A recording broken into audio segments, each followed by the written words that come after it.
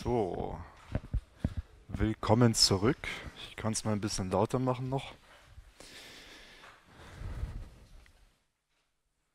Nachdem wir uns jetzt eine Zeit lang nicht gesehen haben, sehen wir uns jetzt wieder und die nächsten sechs Vorlesungen werdet ihr mit mir zu tun haben. Allerdings werden wir uns nächste Woche schon wieder nicht sehen, wegen irgendwelchen komischen vorlesungsfreien Zeiten. Ähm, nächste Woche wird es wieder so laufen, dass ich ein 14-minütiges Video hochlade und als Ausgleich dafür gibt es statt zwei Hausaufgaben nur eine auf Platz 6.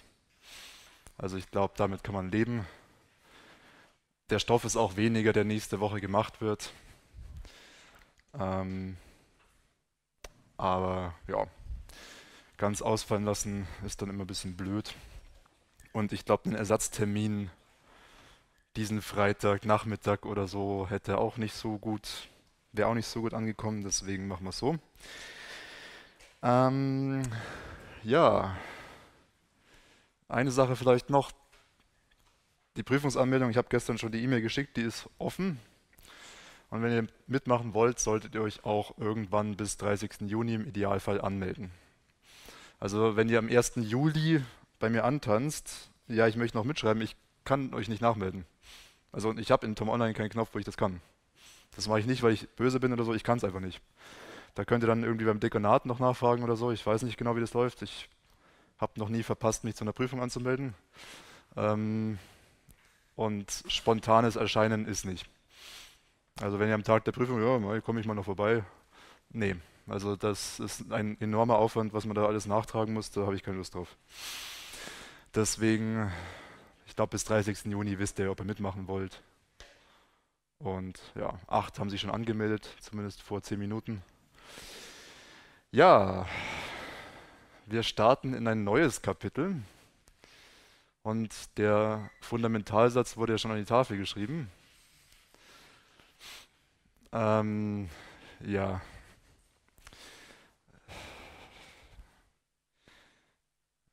vor einem Jahr wurde irgendwann mal auf einem Discord-Server eine Frage gestellt zu, zur Quantenmechanik. Und von einer, es kam eine Antwort von jemandem, der wohl von der Theorie her relativ wenig verstanden hat. Und die Essenz aus dieser Antwort war in etwa das hier.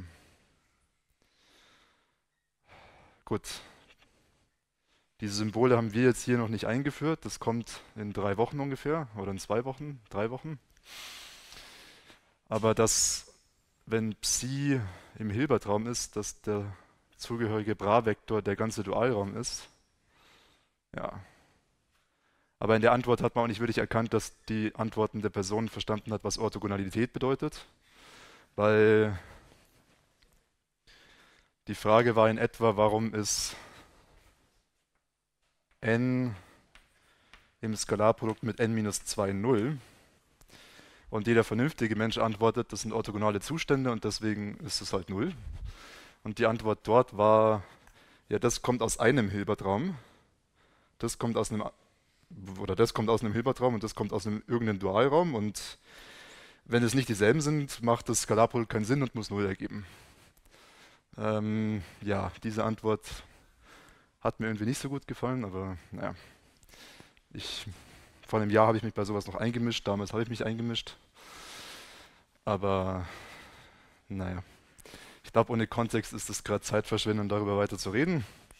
Und wir tun jetzt den Rest des Semesters das Fundament legen, damit solche Sachen nicht passieren. Ähm, wir haben jetzt die ersten fünf Wochen, gut, die Überschrift kann ich ja lassen. Wir haben die ersten fünf Wochen jetzt zwei Bausteine schon mal uns erarbeitet. Einmal die Maßtheorie, einmal die Distributionentheorie. Und jetzt kommt wirklich der, das mathematische Gerüst, um über Quantentheorie reden zu können. Also die Funktionalanalysis ist das große Feld, welches in so viele Disziplinen reinspielt, unter anderem in die Quantentheorie. Und wir geben euch jetzt sozusagen eigentlich den ganzen Rest des Semesters einen Einblick in die Grundlagen und in ein paar fortgeschrittenere Sachen dazu. Und zwischendurch kommen auch immer wieder ein paar Sachen, die ihr aus der theoretischen Physik schon gesehen habt. Und jo, also Funktionalanalysis ist so im Wesentlichen dann Mathematik des 20. Jahrhunderts. Also das, was wir so in Analysis 1 und 2 gelernt haben, ist alles schon ein bisschen älter. Aber die Sachen, die wir jetzt so machen und auch die so ein bisschen in Analysis 3 gemacht wurden, sind alle relativ frisch. Weil so um die Jahrhundertwende damals hat man gemerkt, man braucht für viele Dinge doch ein wenig mehr Mathematik. Sowohl in der reinen Mathematik hat man es gemerkt, als auch in der Quantentheorie, die ja damals so nach und nach aufkam. Und gut, ich meine, die ersten Jahre war Quantentheorie auch nur Heuristik und sagen wir mal ungefähr in den 20er Jahren wurde dann, wurden dann die Versuche unternommen, das Ganze mathematisch aufzubauen. Und so ungefähr 1930 ist das mathematische Gerüst da, was ihr zumindest in euren jetzigen Theorievorlesungen beigebracht bekommt. Also die Quantenmechanik, die ihr lernt, ist im Grunde genommen schon fast 100 Jahre alt. Wir werden natürlich nächstes Semester einen etwas anderen Zugang dann zur Quantentheorie wählen, der ungefähr 50 Jahre alt ist. Aber der ein bisschen anders funktioniert, aber am Ende kommen auch ähnliche Sachen wieder raus. Ähm, die Funktionalanalysis hat die Eigenschaft, also das ist nicht nur Analysis, sondern es spielt auch sehr viel, vor allem Topologie rein. Wir werden relativ wenig über Topologie hier reden, weil man muss irgendwo Abstriche machen, wenn man neun Vorlesungen Zeit hat für Funktionalanalysis. Und da war Topologie das erste, was im Wesentlichen komplett rausgeflogen ist. Ähm, das hilft nichts. Also wir wollen, wir wollen Resultate bekommen und die kriegt man nur, indem man also die kriegt man auch so mit diesen ganzen topologischen und algebraischen Werkzeugen, aber das dauert. Das wäre so wie das Lebesgue-Integral zu konstruieren, das dauert auch eigentlich. Deswegen haben wir uns halt auf die Idee beschränkt. Ähm, und was auch der, also der, der, was, was wir jetzt sehr häufig erleben werden, ist, dass wir Resultate aus der Linienalgebra nehmen und dieses kleine Wort, was da, im, dieser kleine Anhang in diesen ganzen Sätzen dort war immer so, sei x ein endlich dimensionaler Vektorraum, das fällt jetzt weg. Also wir lassen jetzt durchaus unendlich dimensionale Vektorräume zu. Hin und wieder können wir es mal endlich dimensional kurz machen und schauen, ja, kommt ungefähr dasselbe raus wie aus der linearen Algebra. Aber an sich wollen wir die Dimensionen unendlich uns jetzt anschauen, weil das ist das, wo es eigentlich interessant wird. Alles das, das endlich dimensionale Zeug könnt ihr, das habt ihr alles im ersten Semester schon gemacht und auch in der Analysis 2 war es im Prinzip alles endlich dimensional. Und jetzt wollen wir die Dimensionen ins Unendliche hochheben. Ähm, was ich zunächst kurz machen möchte, ist etwas, was ich auch schon im Prinzip in, ich glaube, Analysis 2 mit euch mal gemacht habe. Einen kurzen Überblick über verschiedene Räume, aber das ist jetzt ein bisschen anders als in Analysis 2, da kommen noch ein paar dazu hier. Ähm, deswegen möchte ich mir noch mal kurz die Zeit nehmen und das anschauen, weil da kommt eine ganz spezielle Klasse von Räumen dazu, äh, die dann eben für die Funktionalanal Funktionalanalysis von großer Bedeutung ist. Eine gängige Abwort Abkürzung für Funktionalanalysis ist FunkAnna. Und ich glaube, ich werde sie ab sofort auch verwenden, weil dieses Wort auszusprechen, ich kriege es nicht hin. Ähm, jo. Äh, dieses Bild kennt ihr so teilweise also schon von vor ungefähr einem Jahr, wenn ihr damals bei mir schon gesessen seid. Das, womit man eigentlich immer irgendwie anfängt, das, so haben wir auch in der Maßtheorie angefangen. Wir haben Sigma-Algebren auf irgendwelchen Mengen definiert, Mengensystemen und so. Also wir haben eine Menge genommen, dann ein Mengensystem drauf und wenn es gewisse Eigenschaften hat, ist es eine Sigma-Algebra. Und das war so das Allgemeinste. Ich schaue nur kurz, ob diese Aufzeichnung auch funktioniert. Ähm, und was jetzt die nächst speziellere Struktur ist, ist dann der topologische Raum. Über topologische Räume haben wir eigentlich auch nie wirklich geredet und wir werden auch über also allgemeine topologische Räume nicht wirklich sprechen hier, weil das hilft uns nicht so wahnsinnig. Okay, das funktioniert. Aber das, das nächste, was in dieser Reihe kommt, ist der topologische Raum.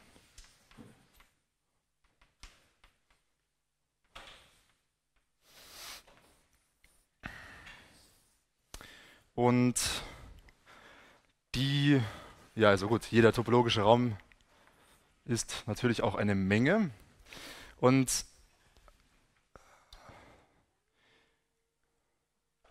topologische Räume sind für die Funktionalanalysis Funk, für Funkanna noch nicht so wahnsinnig praktisch. Ähm, was man nämlich noch dazu macht, gerne, also was wir jetzt in der Funktionalanalyse in Funkanna ständig betrachten werden, sind topologische Vektorräume.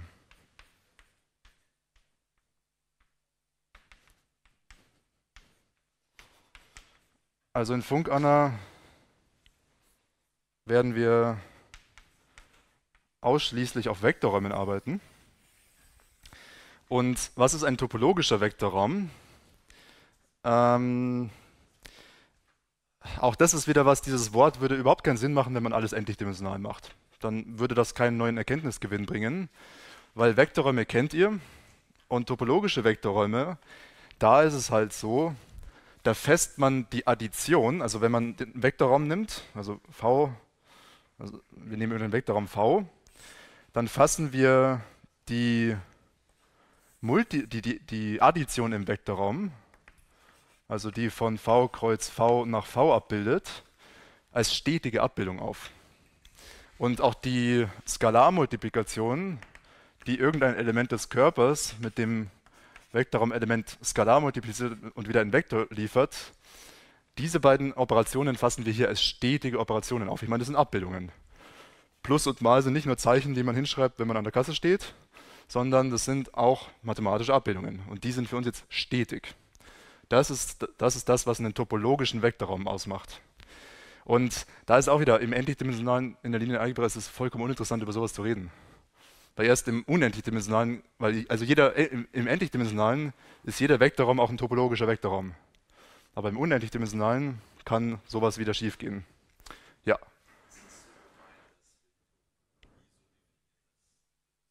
Ja, genau. Ja.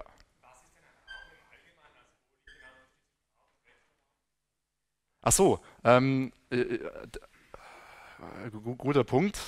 Ein, also ein, ein Vektorraum ist halt ein, ein Raum, der noch die Vektorraumaxiome erfüllt. Weil auf einem topologischen Raum oder auch auf einer Menge, das ist so abstrakt, dass darauf nicht mal eine Addition oder Multiplikation erklärt sein muss. Weil wenn wir jetzt einen, diesen Haufen Kreide hier haben, wie will man jetzt darauf sinnvoll definieren, was ist die eine Kreide plus der andere Kreide? Aber in einem Vektorraum hat man wirklich so viel Struktur, dass man addieren kann, subtrahieren, multiplizieren und so weiter. Das ist der wesentliche Unterschied. Was halt eben für uns ja halt wirklich interessant ist, weil wir wollen das tun. Gut. Dann, was sich neben diese topologischen Räume noch einreiht, sind die metrisierbaren Räume.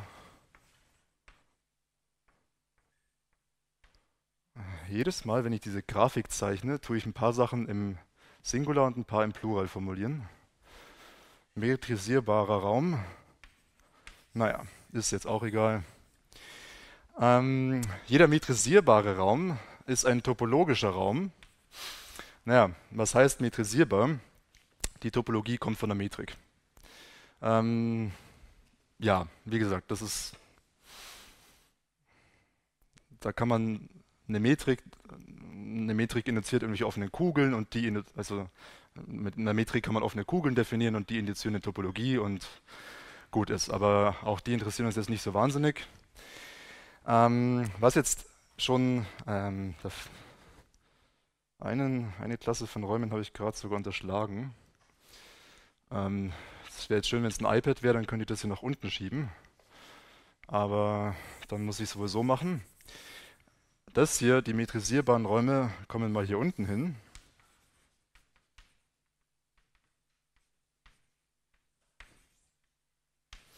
Was hier oben hinkommt, sind die sogenannten Hausdorfräume. Hausdorfräume. das sind Räume, die die sogenannte Hausdorffsche Trennungseigenschaft haben. Ähm, das, die Trennungseigenschaft ist relativ simpel zu verstehen. Wenn ich zwei Punkte habe, die nicht dieselben sind, gibt es disjunkte Umgebungen um beide Punkte, also äh, gibt es Umgebungen um beide Punkte, die disjunkt sind und diese Umgebungen trennen diese Punkte sozusagen. Da denkt ihr euch jetzt auch, ist ja klar, muss ja so sein. Also wenn die Punkte nicht dieselben sind, dann gibt es hier so ganz kleine Kugeln, können sehr klein werden. Wenn sie nicht dieselben sind, finde ich zwei Kugeln und dann kann ich diese Punkte trennen. Es gibt aber auch nicht hausdorfsche Räume und da geht es halt nicht. Aber gut, die sind jetzt ziemlich exotisch, aber uns interessieren die auch nicht wirklich. Aber jeder metrisierbare Raum ist auch ein Hausdorfraum. Und das sind alles noch, äh, mit diesen Objekten werden wir uns im Prinzip im Allgemeinen nicht wirklich beschäftigen. All diese Dinge sind, ja.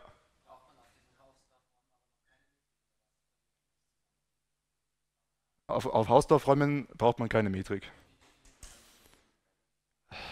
Das, die, das, kann man auch schon in, Topo, das kann man auch in den allgemeineren topologischen Räumen noch machen.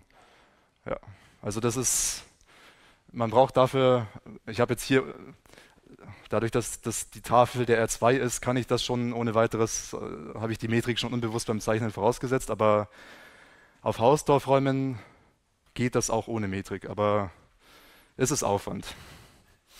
Aufwand, den wir uns hier nicht wirklich antun wollen. Jetzt kommen die Räume, die, die wir uns wirklich anschauen werden. Also all diese Räume sind dann auch zum Beispiel topologische Vektorräume, aber für uns interessant, die nächsten zwei Wochen vor allem, sind die sogenannten Banachräume. Und das ist nämlich das Schöne, diese Banachräume sind eben, wie gesagt, immer Vektorräume. Wir arbeiten nur in Vektorräumen. Das reicht schon fürs Erste. Also klar, es ist so, ja, eigentlich will man es doch immer mal ganz abstrakt haben, aber schon für Banach- und Hilberträume kann man sehr viel tun. Und Banachräume sind sowohl topologische Vektorräume als auch metrisierbare Räume. Und Banachräume kennt ihr ja schon, mit denen haben wir im Prinzip die ganze Zeit in der Analysis gearbeitet, weil das sind halt vollständige, normierte Räume. Mit nicht vollständigen Räumen in der Analysis zu arbeiten, ist einfach Unsinn. Weil wir wollen, dass Cauchy-Folgen konvergieren und deswegen arbeiten wir in Banachräumen. Ähm, diese Banachräume wurden auch tatsächlich von Stefan Banach eingeführt, aber noch nicht so benannt, also von ihm selbst. Das war ihm dann doch zu dick aufgetragen, wenn er das so selbst so benannt hätte. Und Banach hatte auch selten aufgeschrieben, was er eigentlich macht. Also er hat irgendwann, er hat noch bevor er promoviert hat, schon sehr viele Theoreme aufgestellt, aber war sich entweder zu fein, sie aufzuschreiben oder dafür zu sorgen, dass sie mal bekannt werden.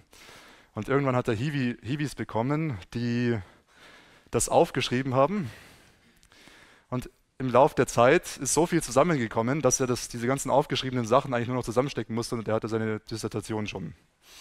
Und die Doktorprüfung war ähnlich. Er wollte nie zu dieser mündlichen Doktorprüfung.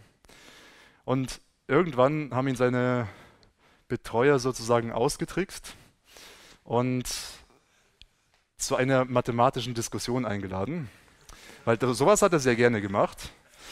Und im Laufe dieser mathematischen Diskussionen wurden halt unterbewusst, also so mal ein paar Fragen gestellt und er hat sie alle zur Zufriedenheit der Prüfenden beantworten können und so seinen Doktortitel bekommen. Ja, heute muss man ein bisschen mehr für sowas kämpfen. Ähm, jo. Banachräume sind, wie gesagt, für die funktionale Analysis von ganz zentraler Bedeutung. Deswegen die nächsten zwei Wochen Banachräume. Was wir dann nach diesen zwei Wochen machen, dann machen wir es noch spezieller. Also irgendwie wirkt das immer so unbefriedigend. Das ist alles immer so speziell. Aber für Hilberträume kann man schon genug sagen. Also Hilberträume werden bei uns den großen, ähm, den großen Teil der Zeit einnehmen. weil es ist sehr schwierig, also sagen wir mal schwierig bis unmöglich, je nach Sachverhalt, Sachen in allgemeinen Banachräumen zu machen. Weil was ist der wesentliche Unterschied zwischen Hilbert und Banach? Hilbert-Räume haben ein Skalarprodukt. Damit kann man in Hilbert-Räumen über Orthogonalität reden. Ihr tut in der theoretischen Physik schon über Orthonormalbasen reden. Das werden wir auch in drei Wochen, glaube ich, tun. Und das geht nur in Hilberträumen. Man kann in einem Banachraum nie über eine Orthonormalbasis reden. Und der Vorteil ist, das wird euch in der theoretischen Physik nicht so wirklich bewusst gemacht, aber man kann sehr froh sein, dass man diese Orthonormalbasen hat. Weil das ist der angenehmste Begriff einer Basis in so einem unendlich dimensionalen Hilbertraum. Weil habt ihr euch schon mal gefragt, wie man eine Basis im unendlich-dimensionalen konstruiert? Das ist ein enormer Aufwand, weil im endlich-dimensionalen war das total naiv. Der Vektor v, ja, den kann man als Summe von Basisvektoren schreiben. Alpha i, vi, das linear kombiniert man, also die vi und i geht halt von 1 bis n, n ist die Dimension des Vektorraumes, die bilden eine Basis und das kann ich linear kombinieren, kann ich jeden Vektor darstellen. Super einfach. Und also i gleich 1 bis n. Ja, und gut, ich meine, in der Physik ist man, hat man nicht so die Probleme. Kann man auch unendlich machen. Das ist nicht der beste Weg. Also davon will ich sehr stark abraten. Ähm, das ist nämlich wieder sowas, das kann man hinschreiben und das ist intuitiv auf den ersten Blick ganz schön, aber so vollkommen unbrauchbar. Also das zu machen ist ein enormer Aufwand. Weil das Problem ist, das ist, nicht, das, das ist nicht wirklich die Basis, die man aus der linearen Algebra kennt. Darüber reden wir in zwei Wochen dann oder in drei Wochen ein bisschen. Aber das ist, äh, nee. Weil das Problem ist, sobald man irgendwann unendlich reinschreibt, was muss man tun? Konvergenz. Wollt ihr von diesem Ding die Konvergenz bestimmen? Und das große Problem ist sogar, ihr kennt ja aus der Analysis 1 nicht absolut konvergente Reihen, wenn man da ein bisschen was umsortiert, kann was anderes rauskommen. Das heißt, es macht jetzt einen Unterschied im eindimensionalen, im endlichdimensionalen habt ihr diese Basisvektoren V1, V2, V3 und so weiter einfach auflisten können. Und es war vollkommen unerheblich, ob ihr die jetzt, also ihr könnt auch was weiß ich, V3 als erstes schreiben, Vn, v, v groß n, V1 und so weiter. Ihr könnt die beliebig rumschieben, das ist ja vollkommen egal. Im Unendlichdimensionalen müsste man das als eine geordnete Basis auffassen, weil es hängt ja von der Summationsreihenfolge ab, was hier rauskommt im Allgemeinen. Und das ist Zeug, das will man sich nicht antun. Werden wir auch nicht. Deswegen werden wir in Banachräumen nicht über Basen reden, weil das ist schwierig und für uns nicht wirklich wichtig. Sondern wir werden auch über Autonomalbasen in Hilberträumen reden, weil in, bei Autonomalbasen muss man sich nicht ein einziges Mal über Konvergenz machen. Das ist der angenehme Vorteil. Also allgemeine Bannerräume zu untersuchen. Die nächsten zwei Wochen können wir das tun. Diese ganzen Sätze, die wir jetzt machen, sind nicht wirklich schwieriger in Bannerräumen. Aber ab da wollen wir diese spezifische Struktur in Hilberträumen bewusst ausnutzen. Wir wollen bewusst dieses Skalarprodukt verwenden, um gewisse Dinge zu tun. Und für die Quantentheorie ja, sind ja diese Hilberträume sowieso von ganz zentraler Bedeutung und das ist ja das, wo wir letztlich hinwollen. Weil diese ganzen Projektionen, die ihr da in der Quantenmechanik aufschreibt, die funktionieren halt nur in Hilberträumen. Ja.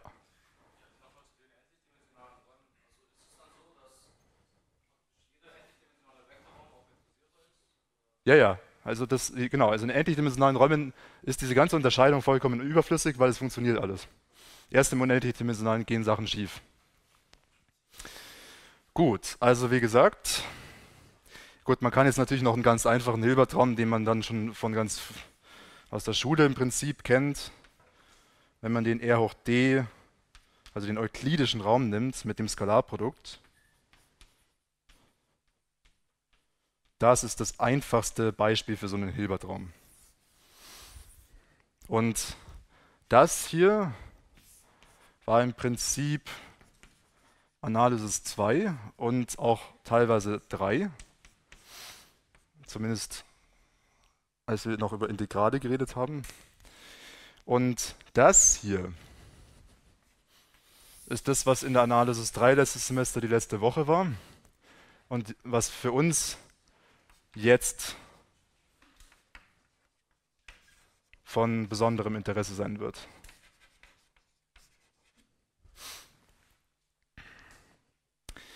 Gut. So viel dazu. Dann fangen wir jetzt mal ganz gemütlich an, indem wir, also heute machen wir im Grunde genommen nur Vokabeltraining. Wir müssen heute halt ein paar Wörter uns anschauen, was bedeuten die. Und so, also ein, ein zentraler Satz kommt heute auch noch raus, aber das meiste sind Sachen, die, ja, da gibt es nicht so viel zu verstehen, sondern das muss man halt wissen dann. So. Normierte Räume und Banachräume.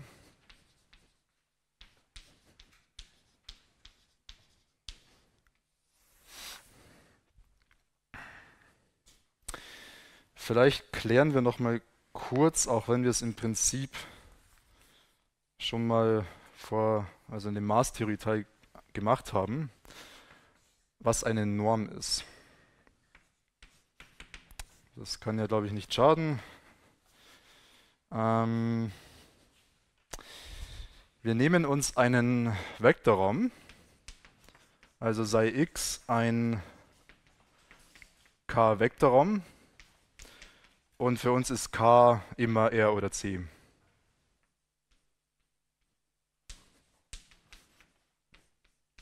Also K, also es sind entweder reelle oder komplexe Vektorräume. Mehr interessiert uns hier nicht. Und eine Abbildung, Doppelstrich Punkt, Doppelstrich Index, kein Index dieses Mal, von x nach 0 unendlich, heißt Halbnorm. Also das haben wir schon mal gemacht heißt Halbnorm.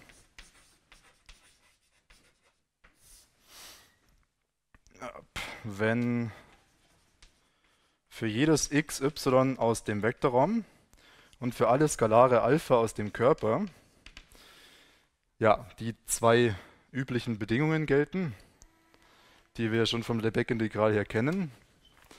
Zum einen gilt die Dreiecksungleichung x plus y in der Norm ist kleiner gleich Norm x plus Norm y. Dann zweiter Punkt, die Homogenität. Die Norm von Alpha x ist Betrag Alpha, Norm von x. Und so haben wir letztes, also in der, in der letzten Vorlesung zur Maßtheorie aus den kalligraphischen LP-Räumen die richtigen LP-Räume gemacht, indem wir noch irgendwie dafür gesorgt haben, dass der Finite halt auch noch gegeben ist.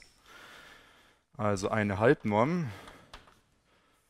eine Halbnorm wird zu einer Norm.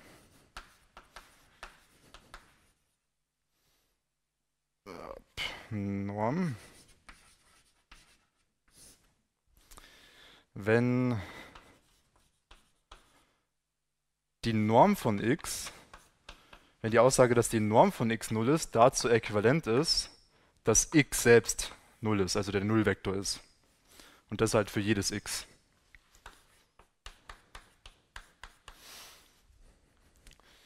Und dieses Paar, wieso habe ich dann hier das mit 2s geschrieben? das Paar bestehend aus dieser Menge x, oder ja, also im Prinzip ist das noch nicht der Vektorraum, den braucht er noch, also, ja, doch, es ist ein Vektorraum, aber wenn man noch die Norm dazu nimmt, ist es dann ein normierter Vektorraum. Also wir haben ja auch gesehen, nicht jeder Vektorraum ist einfach so normierbar. Die LP-Räume waren halt nicht normierbar. Erst wenn man sie mit dieser Äquivalenzklassenbildung um die Ecke kommt. Ähm, Aber wenn eine Norm darauf definiert ist, dann heißt dieses Paar ein normierter Raum oder Vektorraum. Aus Bequemlichkeitsgründen lässt man das Wort Vektor dann meistens wegfallen. Gut. Dann, also das ist nichts Neues. Und was jetzt eben für uns besonders interessant ist, sind diese Banachräume. Und ein Banachraum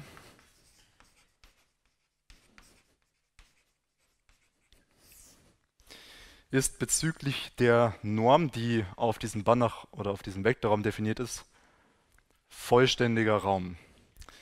Also ein Banachraum ist auch ein normierter Raum, der bezüglich der Norm vollständig ist. Ist bezüglich ne, vollständiger Vektorraum.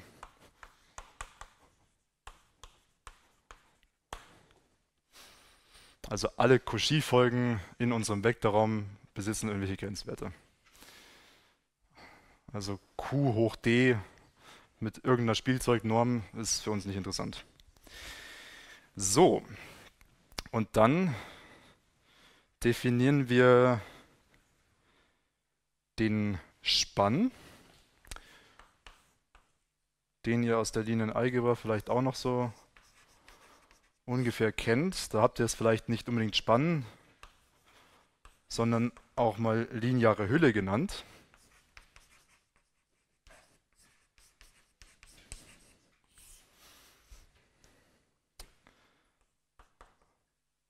Ähm, den Spann definiert man für Teilmengen von diesem Vektorraum. Also wir nehmen uns irgendeine Teilmenge S aus x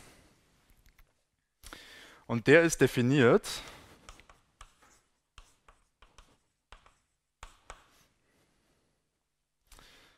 als so, Spann von S und das ist die Menge aller Linearkombinationen, wenn man so will. Alpha i xi, wobei n irgendeine natürliche Zahl ist. Alpha i eine Zahl aus dem Grundkörper und die xi sind Elemente von S. Genau, also nehmt euch im R3 die kanonischen Einheitsvektoren und der Spann dieser Einheitsvektoren liefert den R3. Und ja, das funktioniert im Prinzip dann auch mit den ganzen anderen Vektorräumen. Gut. Für diese ganzen Räume gibt es wahnsinnig viele Beispiele, wovon ich ein paar zumindest machen möchte.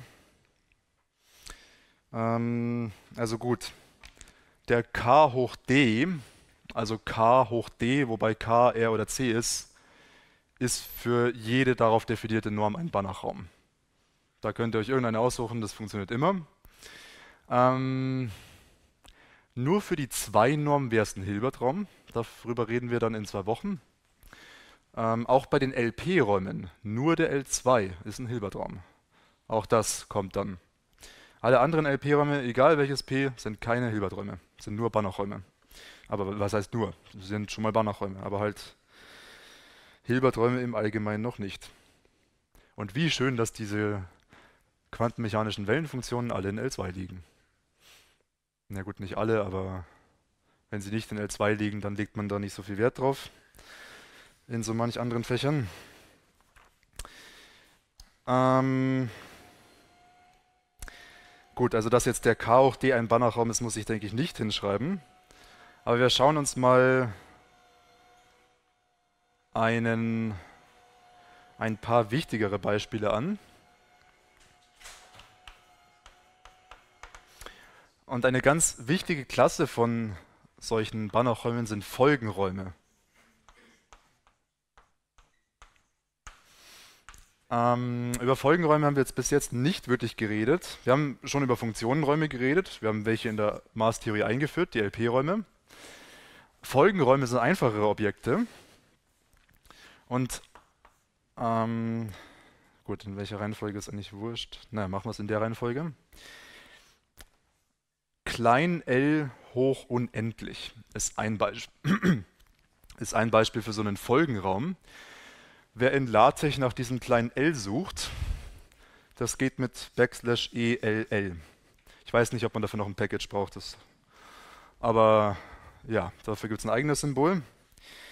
Und das sind alle Folgen x aus, ja, jetzt kommt eine Schreibweise, die ihr vielleicht nicht so wahnsinnig kennt, aber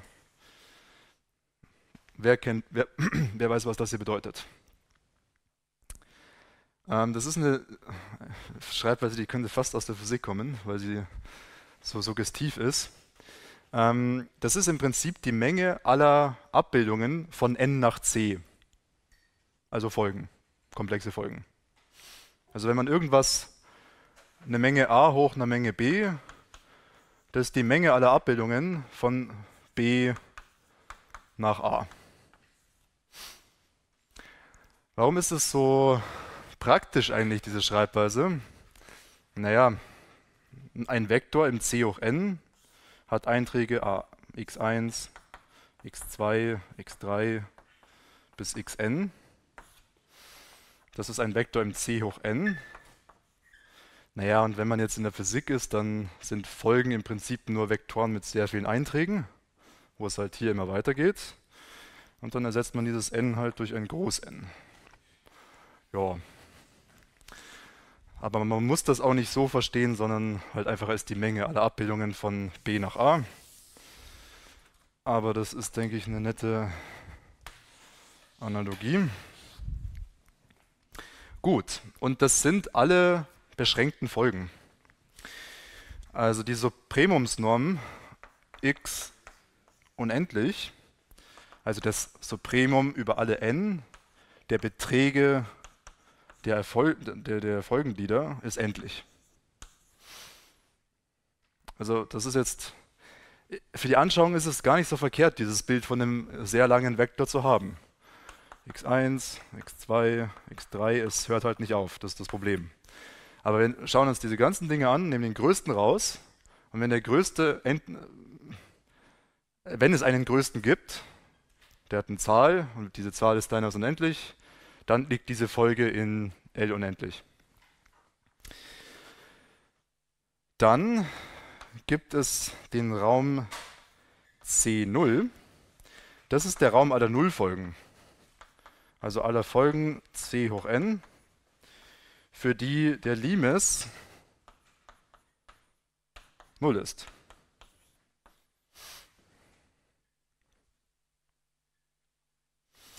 Dann gibt es den Raum klein LP.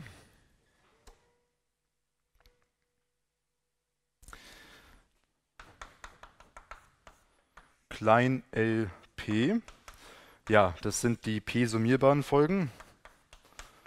Das sind alle Folgen in C, für die die p-Norm endlich ist. Und da das hier ein diskreter Raum sozusagen ist, also der Definitionsbereich sind die natürlichen Zahlen, ist das Lebesgue-Integral, wird das halt ausgewertet bezüglich dem Zählmaß. Ja, und das Lebesgue-Integral bezüglich dem Zählmaß ist einfach nur die Summation. Summe über alle n, Betrag xn hoch p hoch 1 durch p und das soll endlich sein. Und p soll halt auch noch kleiner und endlich sein weil der Fall p gleich unendlich war der erste hier. Gut, und dann gibt es noch einen vierten Raum. Also es gibt noch sehr viel mehr, aber wir brauchen jetzt erstmal nur die. CC. Ich weiß ehrlich gesagt nicht nur, wofür das C steht. Ja, man kann es als kompakten Träger auffassen, wenn man so möchte, aber ja, nur so halb. Ähm, das ist die Menge aller Folgen, wo nur endlich viele Folgenglieder von null verschieden sind. Ja.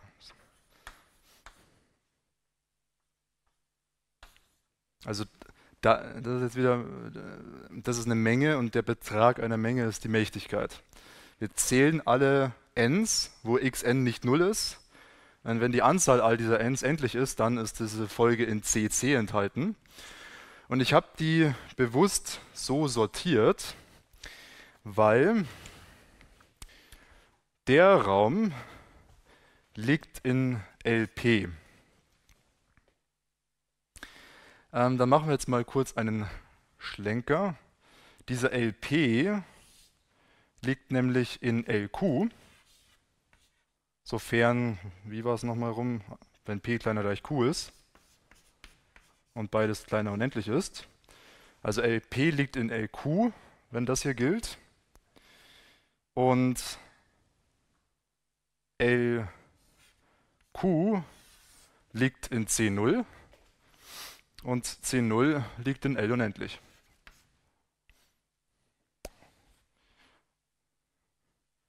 Ähm, ja, ich meine, das hier ist klar, also das hier liegt in allen drin, weil wenn nur endlich viele von 0 verschieden ist, ist das eine ziemlich langweilige Folge.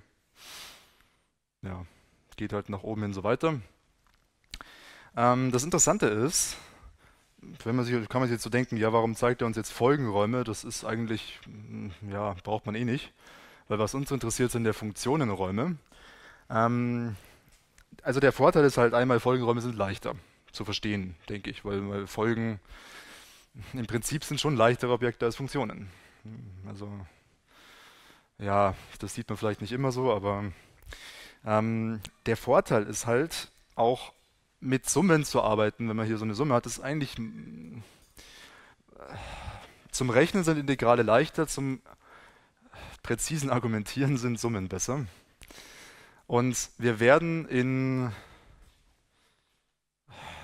in ein paar Wochen, ich weiß nicht genau wann, sehen, dass wenn wir über Hilberträume reden, der Groß L2 isomorph zu diesem Folgenraum klein L2 ist. Entweder seid ihr gerade verwundert und wisst, versteht nicht so ganz, worauf ich hinaus will, oder ihr seid baff, weil das ein ziemlich brutales Resultat ist. Es ist egal was, in ein paar Wochen reden wir eh nochmal genauer drüber. Aber ein Funktionenraum, der sehr unanschaulich ist, gut, das ist jetzt auch nicht so ein bisschen anschaulich schon, aber so ein Funktionenraum, wo lauter Funktionen drin sind, die bezüglich Maßen integrierbar sind und sowas, so ein kompliziertes Objekt kann identifiziert werden mit so einem einfachen Objekt. Das werden wir in ein paar Wochen sehen. Gut, ich könnte jetzt noch Funktionenräume ein paar hinschreiben, aber ja, stehen im Skript auch, da ist jetzt nicht so viel zu sagen. Es gibt beschränkte Funktionen, es gibt Funktionen mit kompakten Träger und so weiter. Die LP-Räume schreibe ich jetzt auch nicht nochmal hin. Was wir aber noch hinschreiben können, sind Räume differenzierbarer Funktionen, weil da kann man mal auf, eine, auf ein Problem aufmerksam machen.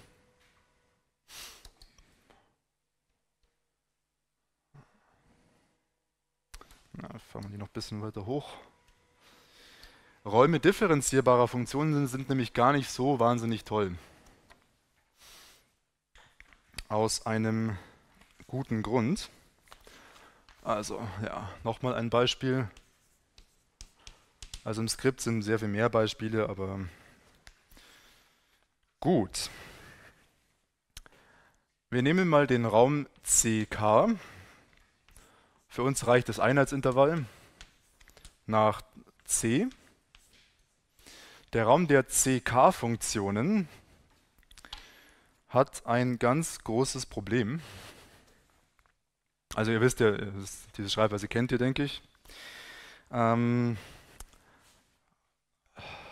da ist das Problem, der ist kein Banachraum. Gut, ich habe jetzt auch nicht wirklich erklärt, warum das da oben Banachräume sind, aber ich glaube, ihr vertraut mir. Das Ding hier ist aber kein Banachraum.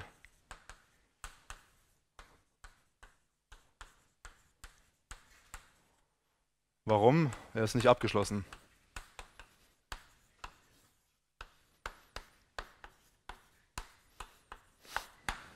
Wie sieht man das? Man kann mal eine Folge nehmen. Eine Folge, die jetzt ein bisschen konstruiert aussieht. X plus 1 durch n unter der Wurzel. Die Folge ist ohne weiteres in C1. x ist halt aus 0, 1. Gut, die bildet sogar nach R ab, aber man kann es auch nach C machen, ist egal. Die ist differenzierbar, definitiv. Das ist eine Wurzelfunktion, da das, da geht nichts schief. Aber wenn man jetzt hier n nach unendlich macht, Wenn die Wurzel ist stetig, dann kann man die Grenzwerte reinziehen und 1 durch n ist eine Nullfolge, dann steht der Wurzelbetrag von x da. Ja, und das ist der Betrag. Habe ich gerade schon Betrag gesagt? Da steht Wurzel von x Quadrat da. So, und das ist Betrag. Ja, der Betrag, das ist aber für euch nichts Neues, liegt nicht in C1. Der ist zwar stetig, aber nicht differenzierbar. Das heißt, mit, mit Räumen differenzierbarer Funktionen werden wir es relativ selten zu tun haben die nächste Zeit. Weil, ja, da gehen halt gewisse Dinge nicht so gut. Ähm, jo, also für diese differenzierbaren Funktionen, also für, für Funktionenräume differenzierbarer Funktionen gehen diese Sätze dann leider nicht so gut. Eine Sache möchte ich noch vor der Pause machen. Und zwar möchte ich auf eine Besonderheit im Unendlich-Dimensionalen noch aufmerksam machen. Weil ich sage immer so, äh, ja, im Unendlich-Dimensionalen gehen so gewisse Sachen schief. Und einen Satz möchte ich noch zumindest hier hinschreiben. Der Beweis ist in den LaTeX-Notizen auch drinnen. Das ist ein Analysis-2-Argument. Ähm, wenn wir irgendeinen normierten Raum nehmen, ein normierter Raum also x zusammen mit seiner Norm, ist genau dann endlich dimensional, wenn seine abgeschlossene Einheitskugel kompakt ist.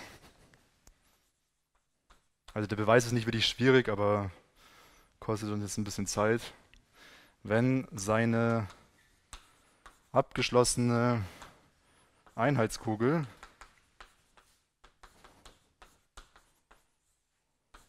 kompakt ist.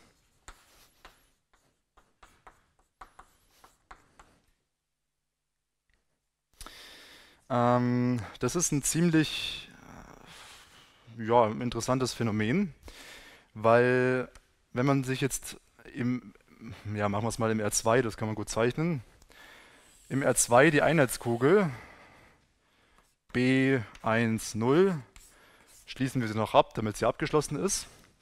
Ja, die ist abgeschlossen, weil wir sie gerade abgeschlossen haben und sie ist beschränkt. Und damit ist sie kompakt.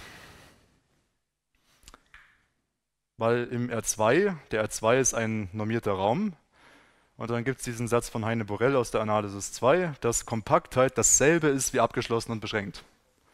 Das Problem ist, dieser Satz funktioniert nur im Endlichdimensionalen. Also im Unendlichdimensionalen ist Abgeschlossenheit und Beschränktheit, weil diese Einheitskugel ist ja abgeschlossen und beschränkt, nicht dasselbe wie Kompaktheit, nie. In keinem Fall. Und wenn man sich jetzt eine unendlich dimensionale Einheitskugel vorstellt, ja, je nachdem, wer sich das vorstellen kann, die ist, die ist beschränkt, wunderbar, durch die 1, weil es eine Einheitskugel ist. Und sie ist auch abgeschlossen, aber die, mit der Kompaktheit funktioniert es nicht mehr. Da findet man Folgen, die zwar in dieser Kugel drin liegen, aber die nirgendwo sinnvoll, die, also die keine Cauchy-Folgen sind. Das ist das Problem. Und ja, also im Endlichdimensionalen wieder, es funktioniert alles wunderbar. Und im Unendlichdimensionalen pff, funktionieren diese ganzen Sachen, die man so, die so irgendwann in die Intuition fast schon übergehen, wenn man das lang genug macht, nicht mehr. Das ist das Problem. Genau, also sozusagen die Konklusion hieraus, der Satz von Heine Borel. Wenn ihr ihn vergessen habt, könnt ihr ihn ja googeln. Gilt im unendlich dimensionalen nicht mehr. So. Dann machen wir jetzt bis 15.05 Uhr Pause und dann haben wir noch Zeit für das nächste Unterkapitel. So, dann machen wir mal weiter. Ich wurde gerade dankenswerterweise auf eine kleine Unzulänglichkeit hingewiesen, die noch hier sichtbar ist. Die Betragsfunktion ist auf dem Intervall, was hier gewählt ist, natürlich differenzierbar. Weil der Betrag hat seinen Knick ja im Ursprung. Ja, Gut, wenn man jetzt ganz streng ist, müsste man hier sowieso offene Klammern wählen, weil nur auf offenen Mengen kann man differenzieren. Also wenn man jetzt, damit das Beispiel trotzdem noch funktioniert, wählt man hier einfach das Intervall von minus 1 bis 1. Tut nichts zur Sache dann, aber dann wäre die Funktion darauf wirklich nicht differenzierbar. Ich weiß noch, wo ich den Satz abgeschrieben habe, äh, dieses Beispiel. Ich schaue mal, ob es da auch falsch ist. Und dann gebe ich der Person, von der ich das abgeschrieben habe, mal Bescheid. Weil die sitzt hier im Gebäude. So. Ähm, genau, also da muss man das halt austauschen, aber tut jetzt nicht so wahnsinnig viel am Problem ändern. Jetzt haben wir noch ein Unterkapitel, welches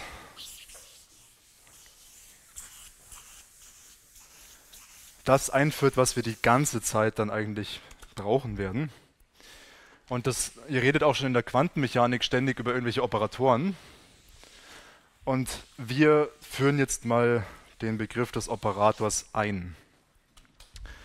Und auf den werden wir dann ständig zurückgreifen. Also das ist Kapitel 3.2.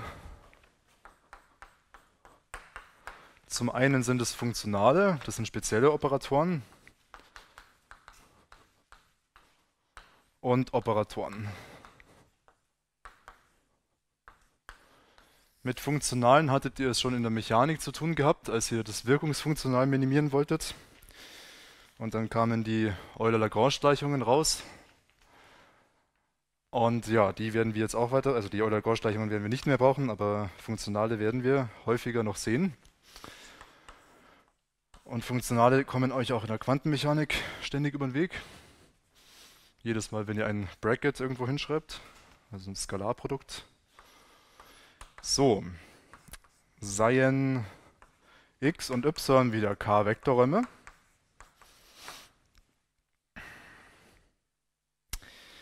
Dann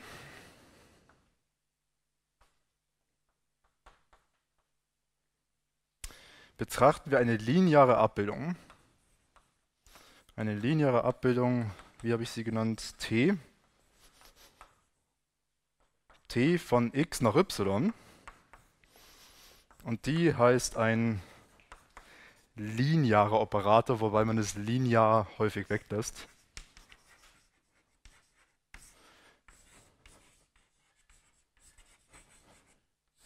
Über nichtlineare Operatoren werden wir dieses Semester und auch nächstes Semester kein einziges Wort verlieren. Die sind ein ganzes Stückchen schwieriger wieder, das ist halt immer so. Und das Problem ist auch, dass ne, was heißt Problem? Es gibt auch wieder Möglichkeiten, sich dann weiterzuhelfen, wenn es nicht linear wird. Und häufig ist dann die Grundidee, dass man irgendwas wieder linearisiert.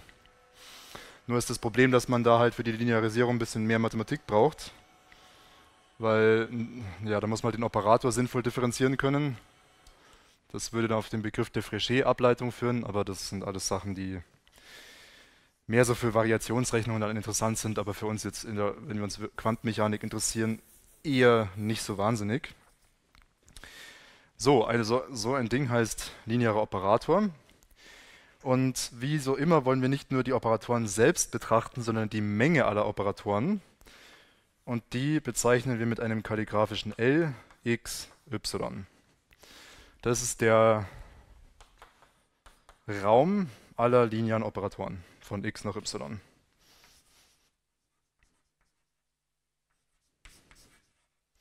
Der Raum aller Operatoren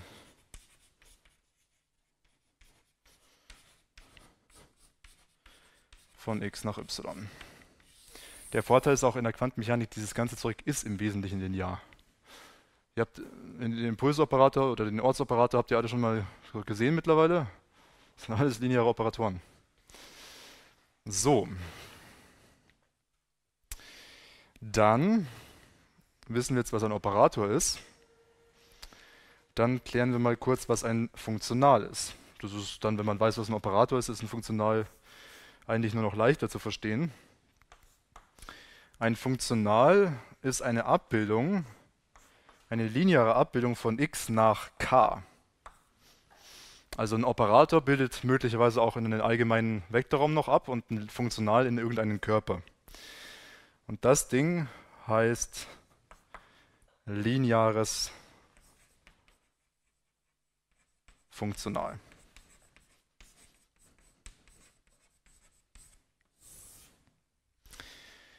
So, jetzt hatten wir häufig,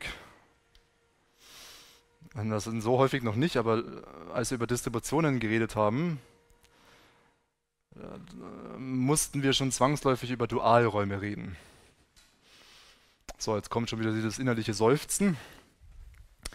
Ähm, das können wir jetzt definieren. Und da gibt es zwei verschiedene Typen von Dualräumen. Der Raum x', das ist einfach dieses L, was ich da oben definiert habe, die Menge aller Abbildungen von x nach k. Das ist der sogenannte algebraische Dualraum. Das ist der algebraische Dualraum.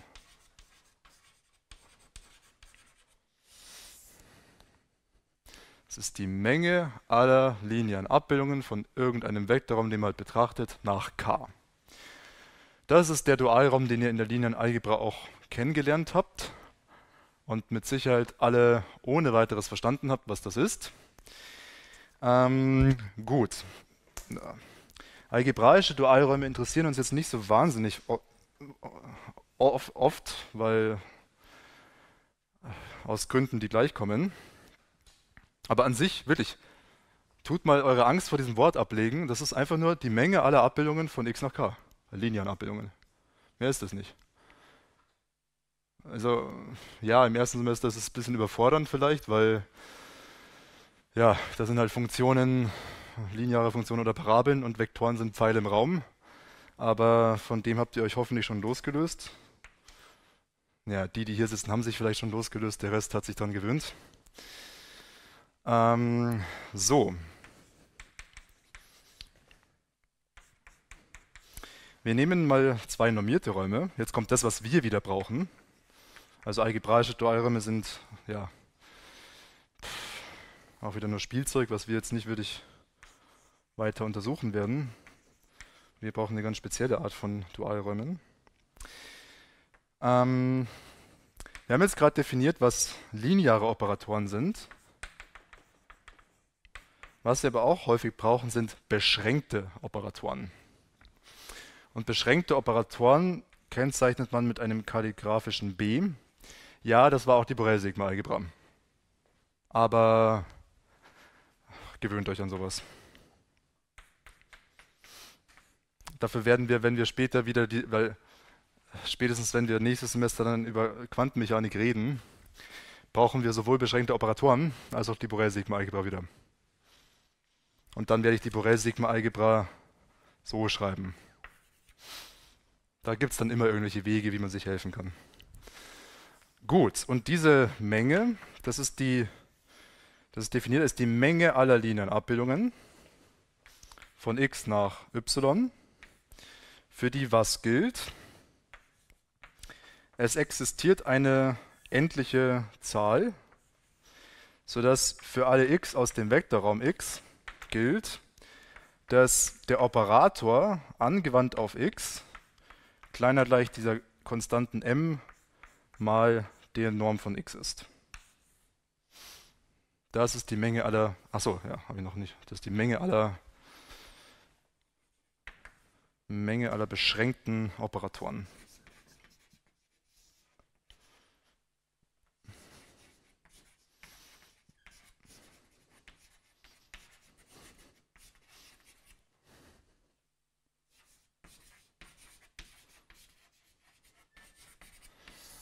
Ähm, was man da häufig macht, ist, also Konventionen, gerade wenn wir über Hilberträume reden, bilden diese Operatoren häufig von dem Hilbertraum wieder in den Hilbertraum ab. Und da ist es Konvention, dass man b von x als Kurzschreibweise für die Menge aller Operatoren von x nach x die Menge aller beschränkten Operatoren von x nach x setzt. Dann spart man sich ein Komma und ein weiteres x. Gut. Und daraus kommt schon eine, eine ganz, ganz, ganz, ganz wichtige weitere Norm, mit der man in den ersten Semestern vielleicht ein bisschen hadert, aber irgendwann muss man sich dann gewöhnen. Weil wir wissen, wie wir von Vektoren Normen bestimmen, das ist nicht so schwer. Da gibt es genug, können wir uns welche aussuchen. Ähm, wir wollen aber auch von Operatoren eine Norm bestimmen. Das ist vielleicht wieder ein bisschen abstrakter, klar. Das ist jetzt vielleicht nicht als Länge von irgendeinem Pfeil im dreidimensionalen Raum interpretierbar. Aber das, wie gesagt, äh, gibt verschiedene Leute, die verschiedene Meinungen zu diesem Zeug haben und ich finde, man sollte das nicht zu sehr sich auf solche Wischiwaschi-Definitionen ver verlassen. Eine Norm, die sehr gut geeignet ist, ist die sogenannte Operatornorm.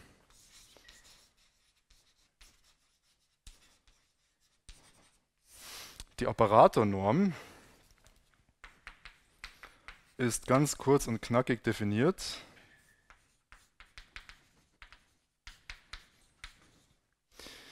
Das ist die Norm von t. Machen wir das hier unten in der neuen Zeile. Also die Norm des Operators t ist definiert als das Supremum über alle Vektoren x aus x haben wir es genannt, die nicht der Nullvektor sind von Tx durch Norm von x. Das ist die berühmte Operatornorm. Und vielleicht, um jetzt doch ein bisschen ein Gefühl dafür zu bekommen, was hier passiert, ähm, wenn das Ganze endlich dimensional wäre. So ein Operator wäre dann einfach eine Matrix. Auf jedem endlich dimensionalen Frage? Auf jedem endlich-dimensionalen Raum kann man diese Operatoren sich als Matrizen vorstellen. Und diese Matrizen, darauf, die wendet man auf Vektoren an und kriegt neue Vektoren raus. Also als Beispiel äh, x gleich rd, dann ist t, nehmen wir als Abbildung von, x, von, von rd nach rd. Und das würde halt aussehen, na, wie, wie würde das aussehen? Also t von x ist einfach t mal x. Also das hier, t ist, diese, ist halt eine d kreuz d Matrix und x ist ein d-dimensionaler Vektor. Und das, was rauskommt, ist auch wieder ein d-dimensionaler Vektor. So. Und ähm, das Schöne mit dieser Operatornorm ist, wir können von dieser Matrix jetzt eine Norm definieren. Weil das hier ist der Urbildvektor sozusagen, den man reinsteckt in die Abbildung und kriegt ein Bild raus. Und das ist die Norm, die hier steht. Das ist die Norm aus dem Urbildbereich. Das hier ist das Bild, was rauskommt. Das ist auch wieder hier jetzt ein Spaltenvektor. Das ist das, was hier steht. Die Norm von dem hier. Und die Norm von diesem schwierigen, von dieser Matrix hier, wo man jetzt vielleicht noch nicht sofort mit einem Pythagoras oder so herkommt und halt Wurzel aus x1 plus x2 und so weiter nehmen könnte, da ist es dieses schwierige Objekt hier. Und das ist definiert über einfache Objekte. Also hier stehen wirklich drei verschiedene Normen. Operatornorm, Norm im Bildbereich, Norm im Urbildbereich. Um das abzugrenzen, manche Leute schreiben für die Operatornorm auch drei Striche. Sieht man manchmal. Manche Leute schreiben für Vektoren aus dem ERD nur einen Strich statt zwei. Ich schreibe eigentlich immer für alles zwei Striche, weil ja, so viel Gehirngymnastik kriegt man hin, dass man erkennt, was was ist. Und wenn man es nicht erkennt, dann sind die Probleme meistens tiefer liegender und man muss sich das nochmal anschauen. Das ist auch bei mir manchmal dann so. Also, wenn man die Notation verstanden hat, ist man gut drinnen und dann wird man damit nicht so die Probleme haben. Aber ja, ich finde zwei Striche irgendwie angebrachter, weil eine, ein Strich hat schon genug Verwendung. Betragsfunktion, Mächtigkeit eine Menge. Das hat hier dann eher nichts zu suchen. So, jetzt kommt noch ein weiterer Dualraum, und zwar der topologische Dualraum. Und das ist der, den wir bei den Distributionen auch die ganze Zeit verwendet haben. Der topologische Dualraum ist jetzt auch nicht viel Aufwand, den zu definieren. Da tun wir einfach beim, statt beim algebraischen Dualraum haben wir das L genommen und jetzt nehmen wir das B. Der Raum X Stern definiert als die Menge aller beschränkten Abbildungen von x nach, nach Grundkörper k, der eine Teilmenge des algebraischen Dualraumes ist, weil jede beschränkte Abbildung ist ja auch linear, also jede beschränkte lineare Abbildung ist linear. Und das hier ist der sogenannte topologische Dualraum.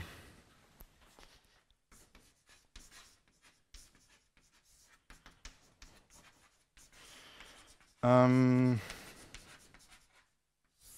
topologische, topologische Dualraum von x. Sagen wir mal. So. Ähm, ich erkläre in zwei Sätzen, also ich mache jetzt zwei Sätze und dann erkläre ich, warum das Ding topologisch heißt. Ähm, das hat nämlich einen Grund. Gut, also nehmen wir das mal kurz so hin, das ist der topologische Dualraum. Mit dieser Operatornorm werden wir sehr viel arbeiten die nächste Zeit. Glücklicherweise müssen wir sie praktisch nie ausrechnen. Das ist einfach nur ein Hilfsmittel, aber der konkrete Wert interessiert uns dann meistens nicht. Aber die braucht man einfach, um gewisse Abschätzungen immer wieder mal machen zu können. Deswegen möchte ich in einem kurzen Lemma ein paar Eigenschaften zusammenfassen, die dann, die sind alle nicht allzu schwer zu beweisen, deswegen ist das dann die Hausaufgabe über Pfingsten. Und das ist diese eine Aufgabe, die ihr habt. Dieses Lemma, also das ist die erste Teilaufgabe und die zweite Teilaufgabe ist noch, dass man für ein ganz einfaches Beispiel mal diese Operatornorm ausrechnen soll. Aber wie gesagt, das ist dann alles, was zu Pfingsten zu tun ist. Gut. Sei das hier die Operatornorm.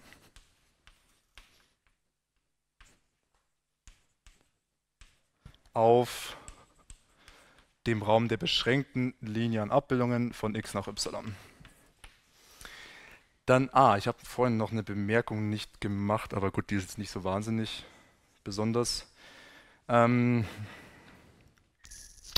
häufig, also kurz zu dieser Bemerkung, mh, hm, ja. statt t von x schreiben wir häufig auch einfach nur tx. Also so wird das, was ich hier geschrieben habe, tx. Diese Klammer lässt man sich dann im Prinzip weg. Man muss es sich eigentlich schon denken, weil das ist eine Abbildung, die nimmt x und spuckt irgendwas Neues aus, aber naja. Und das andere ist, sowohl der Raum der linearen Operatoren als auch der Raum der beschränkten Operatoren sind selbst wieder Vektorräume. Ja. Ich meine, ja, gut, ist halt so. Also die Summe zweier beschränkten Operatoren ist wieder beschränkt. Die, die, Multiplikation mit einer Zahl führt wieder auf einen beschränkten Operator und genauso gut mit linearen Operatoren. Also zwei lineare Operatoren in der Summe geben wieder einen linearen Operator. Gut. Wir nehmen uns jetzt hier mal zwei solche Operatoren, beschränkte Operatoren. Einmal von x nach y und einen zweiten Operator, der von y noch z abbildet. Und dann gelten folgende drei Sachen. Erstens, das, was ich hier jetzt die ganze Zeit Operatornorm nenne, ist eine Norm.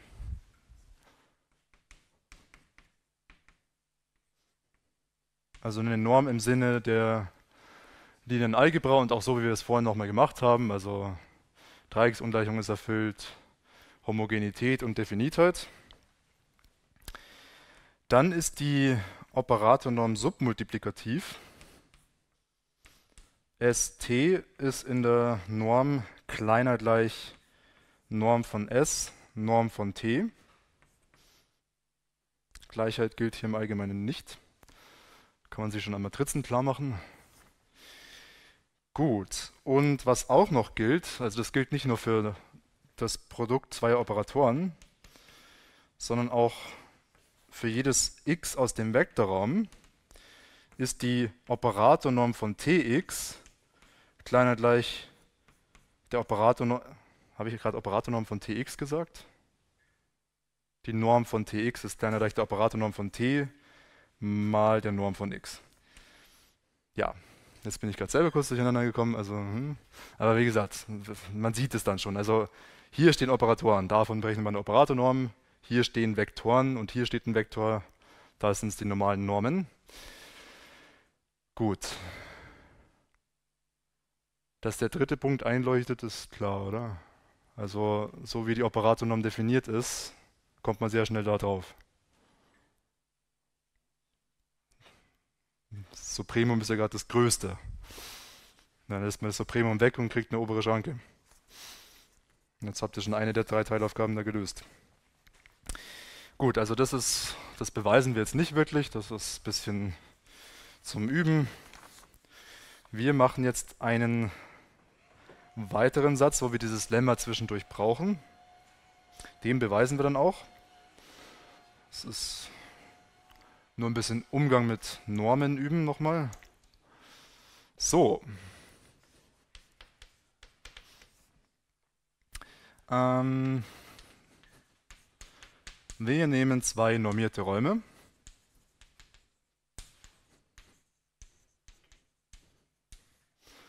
und einen linearen Operator.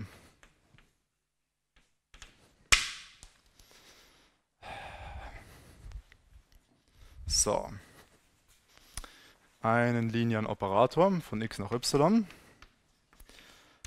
Dann sind folgende drei Aussagen äquivalent.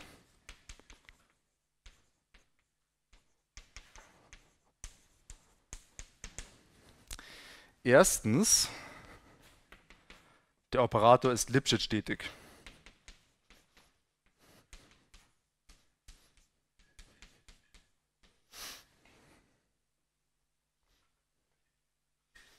Lipsche stetig ganz normal wie in der Analysis 2.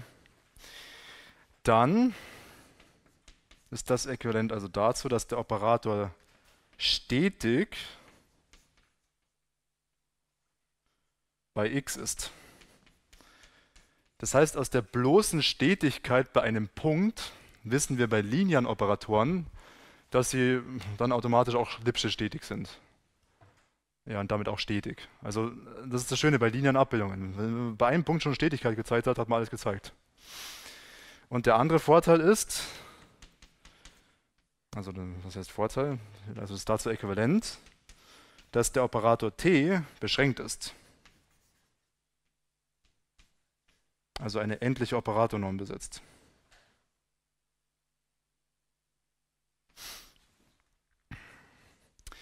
So, jetzt habe ich gerade gesagt, ich möchte zwei Sätze machen, damit ich erklären kann, was das mit dem topologisch auf sich hat. Für lineare Abbildungen ist es vollkommen dasselbe, ob der Operator beschränkt ist oder stetig. Diese Worte kann man austauschen, haben denselben Aussagegehalt. So, beschränkt. Wir haben hier die beschränkten Operatoren definiert, das ist dieses kalligraphische B. Und diese, wenn man jetzt hier auf diesen topologischen Dualraum hinkommt, das ist die Menge aller beschränkten Operatoren von x nach k. Ja, die sind aber alle linear, damit sind sie auch stetig. Das heißt, die Menge aller stetigen Abbildungen von x nach k. Und deswegen kommt dieses Wort topologischer Dualraum hier. Da interessiert man sich ja gerade für die stetigen Abbildungen zwischen diversen Mengen. Auch wieder was. In der Linealgebra hätte sich, das, hätte sich dafür niemand interessiert. Weil da interessiert eine Stetigkeit halt einfach nicht. Das ist nicht das Konzept, was man dort untersucht. Das ist das zentrale Konzept der Analysis. Und deswegen, ja, in der Linealgebra wäre wieder topologischer Dualraum gleich algebraischer Dualraum. Und wenn zwei Wörter denselben Sinn haben, dann kann man das zweite Wort auch weglassen. So war es halt dort. Gut. Beweis. Der Beweis von 1 nach 2, den lassen wir weg. Der ist, ist klar ähnlich, weil wenn die Funktion Lipsche stetig ist, ist sie insbesondere stetig und damit auch stetig an einem Punkt. Und ihr habt ja die Analysis 1 alle hinter euch, damit könnt ihr das noch, oder? Na. Ähm, jo. Aber im Prinzip ist das ein Analysis 1 Beweis, deswegen lassen wir den mal weg. So, also.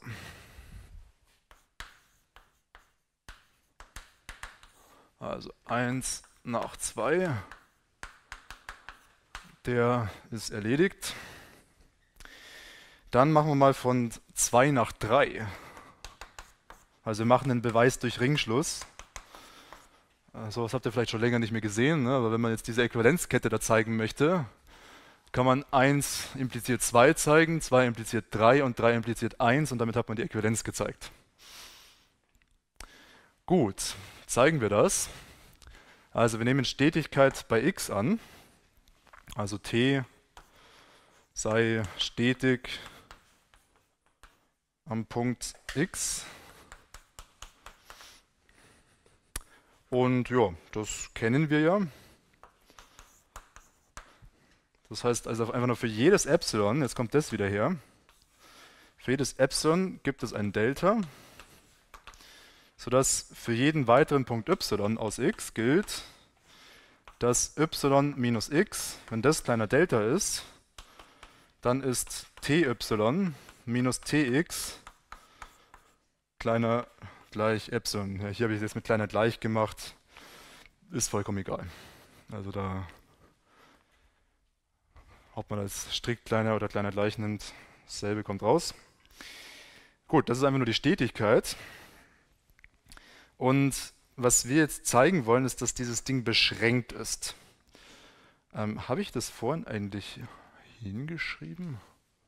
Ja gut, ich habe die Menge der beschränkten Operatoren definiert, aber tun wir die mal nochmal kurz runter. Um Beschränktheit zu zeigen von so einem Operator, reicht es also, dass man es schafft, eine konstante m zu finden, sodass diese Ungleichung hier gilt.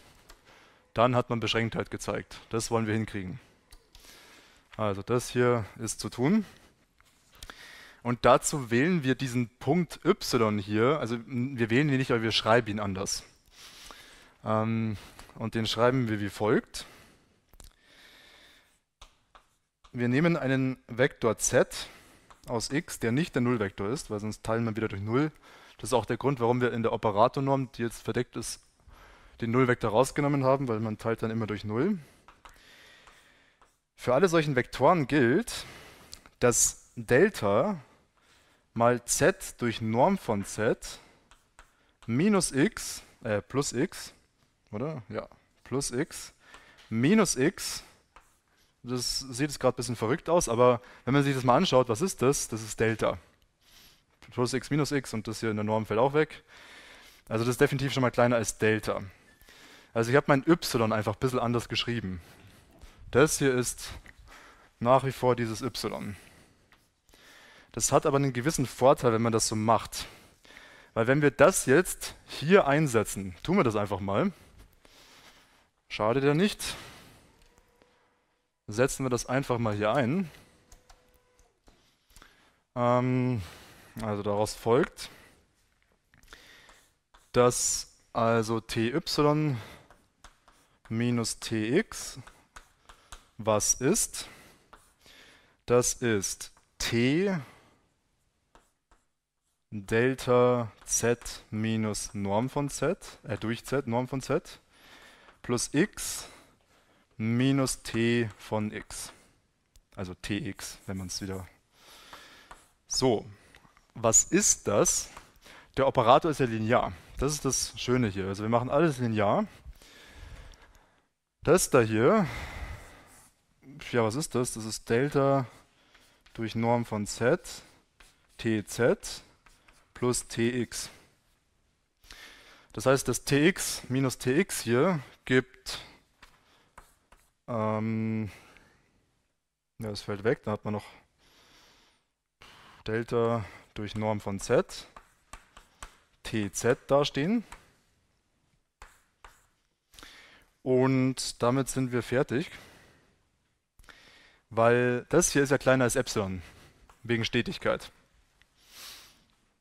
So, das ist jetzt eine gute Aussage, weil wir wollen ja Beschränktheit bekommen.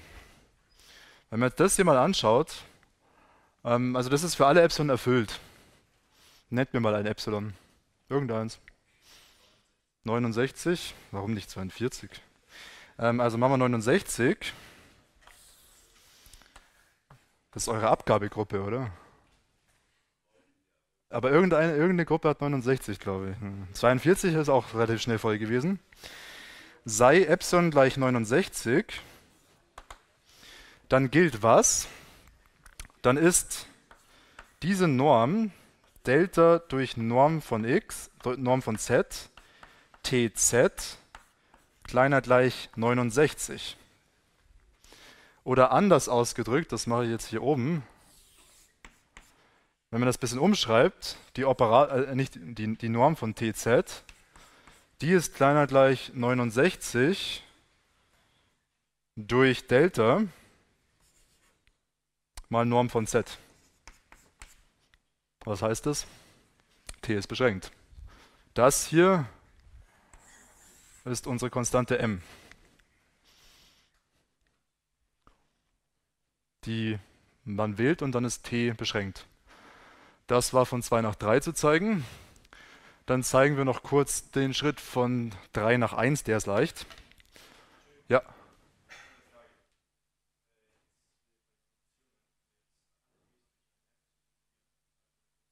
Ja. Aha.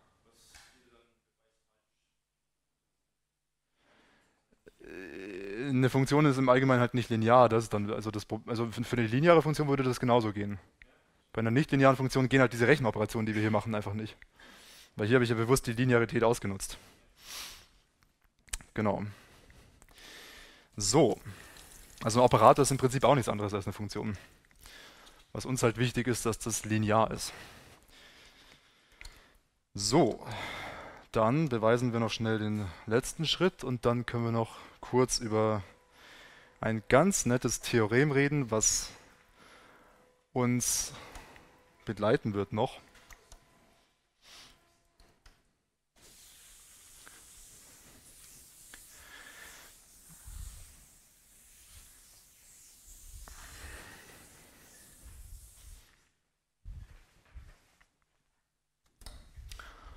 So.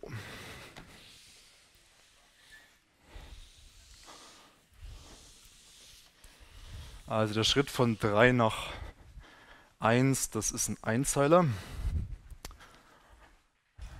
Ähm so, das schreibt man einfach aus. Also wir wollen zeigen, dass aus Beschränktheit Lipschitz-Stetigkeit folgt. Ja, rechnen wir es halt nach. Tx minus Ty, da können wir jetzt wieder wegen Linearität schreiben, das ist Tx minus y. Also da geht wieder Linearität ein. Und wir wissen ja, dass der Operator beschränkt ist.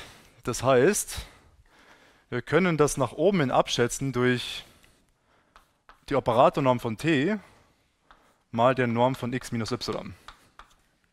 Fertig. Weil, da der Operator beschränkt ist, existiert diese Operatornorm. Die ist endlich und damit wählen wir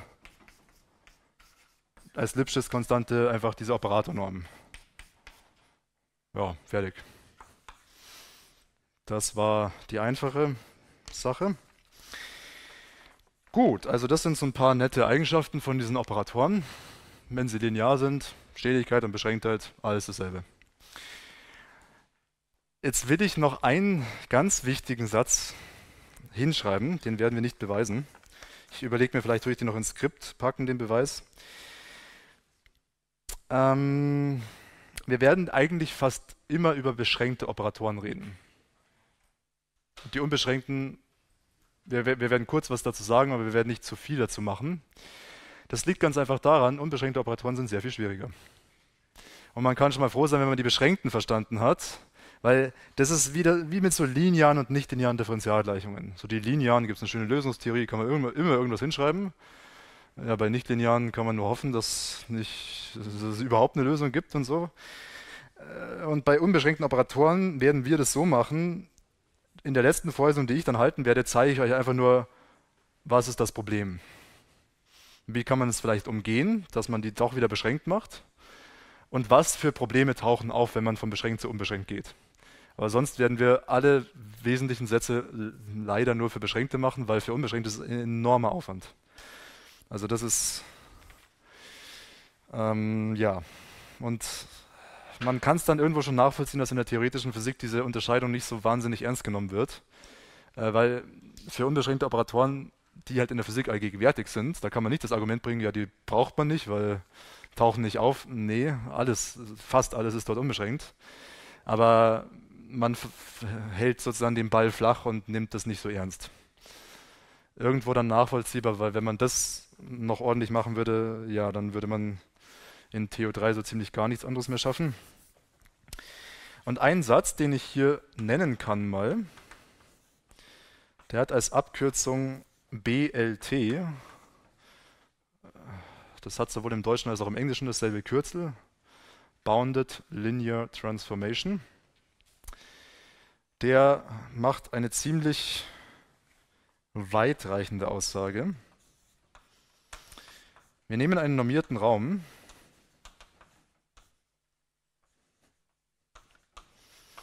davon einen Unterraum S von x. Also wenn ich Unterraum sage, meine ich immer Untervektorraum. Untervektorraum. Und y ein Banachraum.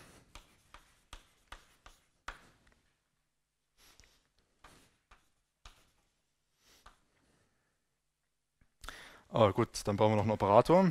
T, der beschränkt, eine beschränkte lineare Abbildung von S nach Y ist.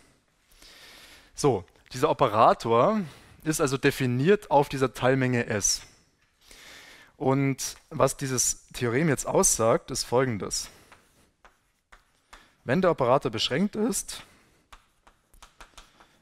dann besitzt er eine eindeutige Fortsetzung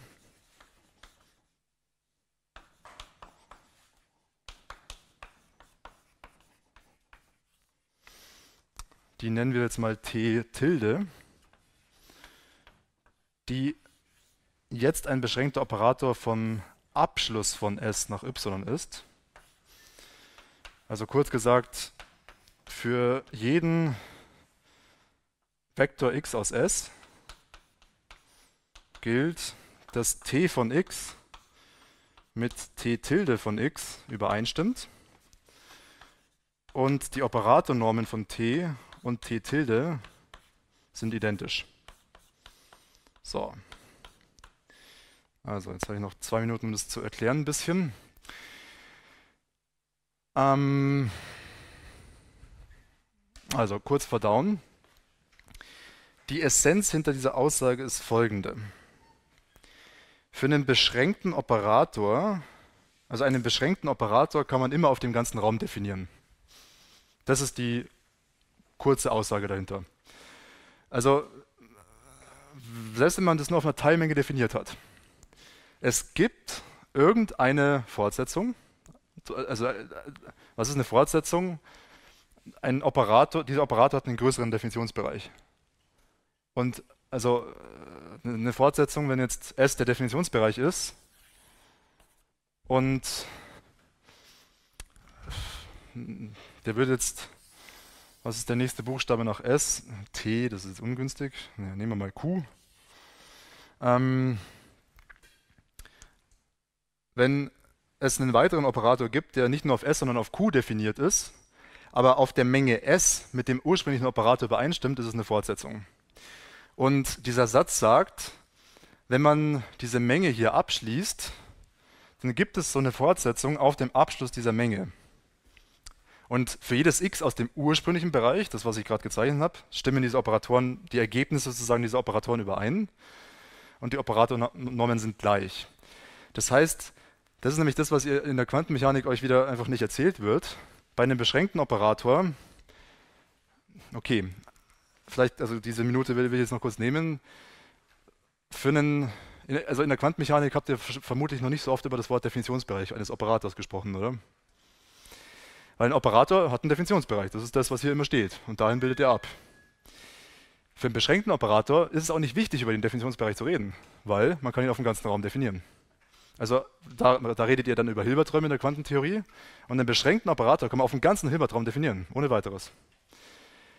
So, bei beschränkten Operatoren. Bei unbeschränkten geht das nicht. Also ihr könnt, wenn ihr, was weiß ich, den L2 nehmt, ihr könnt den Impulsoperator nicht auf den ganzen L2 definieren. Und warum das nicht geht, werden wir in der letzten Vorlesung, die ich halten werde, sehen. Da gibt es dieses Hellinger-Töplitz-Theorem und das sagt, nein, das geht nicht. Aber, ja, und für, also wie gesagt, für Beschränkte harmlos, für Unbeschränkte ja, schwierig. So, nächste Woche geht es dann um die Hauptsätze zu Operatoren auf Banachräumen in 14 Minuten dann. 14 Minuten langes Video. Ich werde es schon im Laufe dieser Woche irgendwann hochladen, morgen vielleicht schon.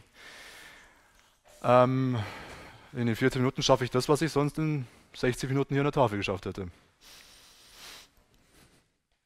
Und ich wollte nicht, ich wollte nur 60 Minuten Stoff machen sozusagen und nicht 90, weil es sind ja eigentlich doch Urlaub. Gut, dann bis in zwei Wochen.